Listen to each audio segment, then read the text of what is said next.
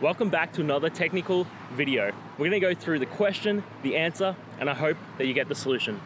Guys, I hope you stay crazy just a little bit like me and work your way through to getting to that end resolution. Let's get started.